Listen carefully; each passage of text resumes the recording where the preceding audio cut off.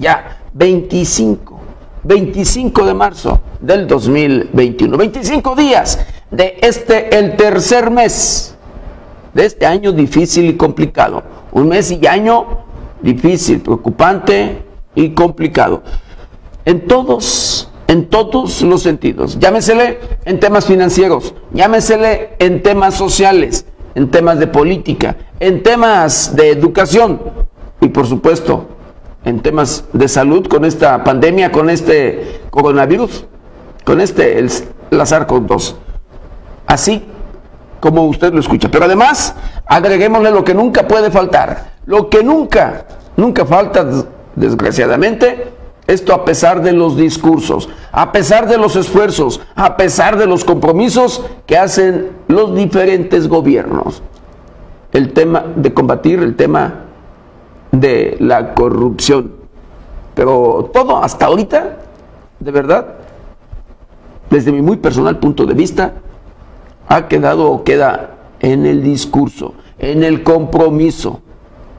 Pero no, no se ve, no vemos aún que se esté haciendo lo correspondiente, porque desgraciadamente vemos hechos de corrupción, prácticas de corrupción en los diferentes lugares, en los diferentes rincones de nuestro país, desde en los en lugares municipales, ¿sí?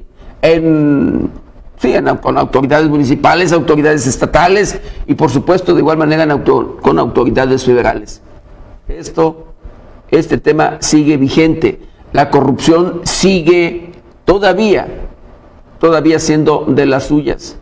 La corrupción, desgraciadamente, todavía aquí la seguimos viviendo. Y víctimas de este tema, muchísimos. Por el tema de la corrupción, muchísimas, muchísimas víctimas en todos los sentidos. Lamentablemente, esto es una realidad. Una realidad que se vive día a día y que, ¿sabe qué?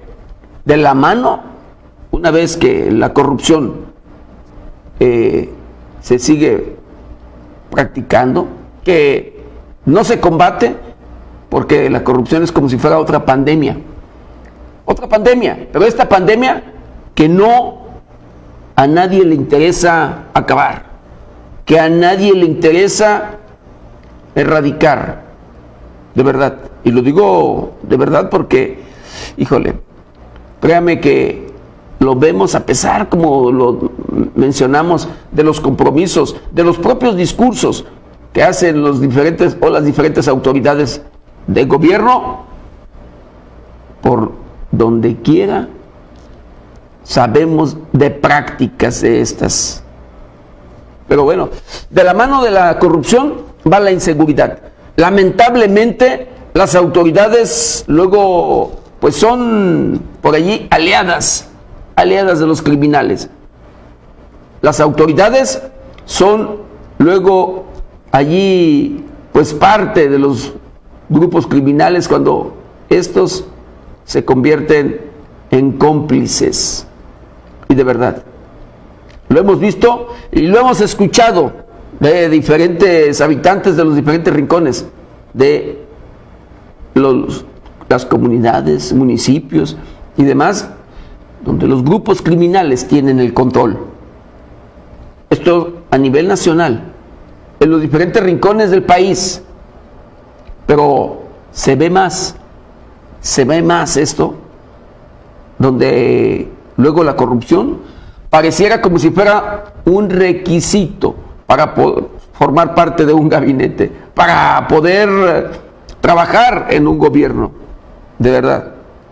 Hay estados de la República que ocupan los primeros lugares, en escalafón, los primeros lugares en temas de corrupción.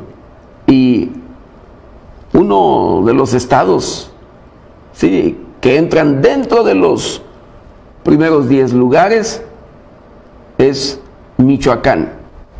Michoacán, gobernado por Silvano Rodríguez Conejo. Michoacán, gobernado por un partido de izquierda, por el PRD. Digo, de izquierda, entre comillas allí. De verdad, con lo que es el PRD. Pero que este gobierno de Silvano Aureoles Conejo, lo único, como le digo y le repito, pues lo, luego vemos, escuchamos, pues lo único que le interesa es enriquecerse, a costa de lo que sea. Y más, ahorita en estos tiempos para financiar campañas. Y por eso, digo, desde mi muy personal punto de vista, repito, permite, hace, tolera, eh, protege y demás a aquellos funcionarios que practican la corrupción. Así es. Lo vemos en tránsito del Estado, lo vemos en diferentes dependencias, en este caso de la Secretaría de Finanzas, donde luego tiene que ir a, cumplir con algún compromiso, a pagar impuestos, a impuestos a los diferentes, ya sea para regularizar un vehículo, ya sea para poner al corriente cualquier cosa de los de lo que usted tiene obligación y allí comienzan los propios funcionarios a hacerle la vida imposible, a ponerle trabas, a quererle, pues, complicar, hacer o llevar a cabo su trámite, su pago, ponerse al corriente. Y esto con la finalidad, única finalidad y objetivo de llevarlo a la desesperación, de llevarlo a que tenga que allí darles el moche.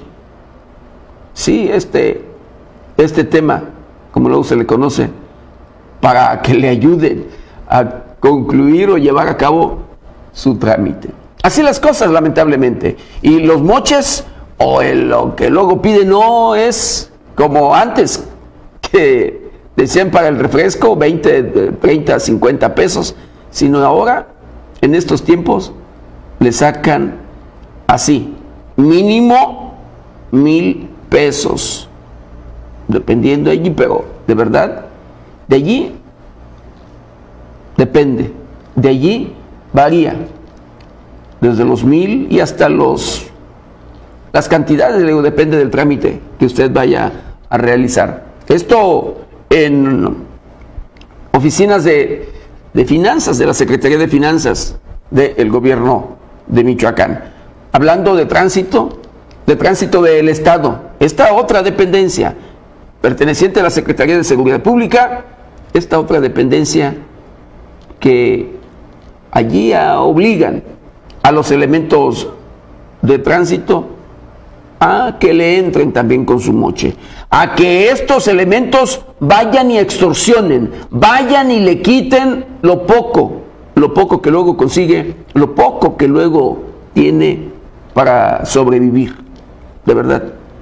Tienen así, por instrucción del propio director de tránsito que encabeza esta dependencia, Jorge Alvarado Cerrato, por supuesto ese es su nombre, compadre del gobernador como él mismo lo presume, ¿sí?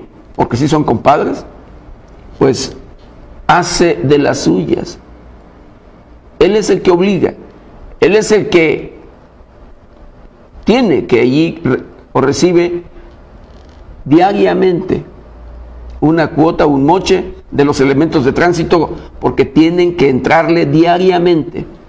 De lo contrario, no les da motocicleta o no les da patrulla o simplemente los castiga, los manda a lugares donde ellos mismos a veces luego tienen que renunciar o entrarle entrarle a este tema de corrupción.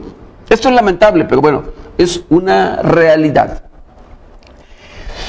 Y bueno, pues así, así las cosas, los temas de inseguridad que no pagan por lo mismo por estos temas de corrupción, los grupos criminales continúan dando muestras de músculo en los diferentes rincones del mismo estado de Michoacán, los grupos criminales que no pagan con las extorsiones, con los secuestros, con los asesinatos y por supuesto allí pues con, como luego escuchamos de los propios, de, los, de las propias víctimas, de los propios testimonios, les violan a sus mujeres, les violan a sus esposas, madres, hermanas, hijas, lamentablemente, una realidad. Y nadie hace nada.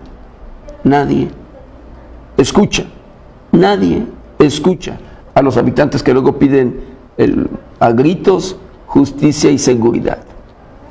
Así las cosas. Pero bueno, vamos a hacer un recorrido, un recorrido por el portal de noticias